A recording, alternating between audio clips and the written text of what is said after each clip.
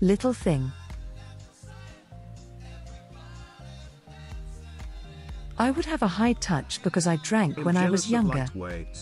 They don't have to spend a fortune to get drunk, Zentoman. That's the only reason why I have a high tolerance. It's because I would drink when I was younger. Ah, good old depression. And partying.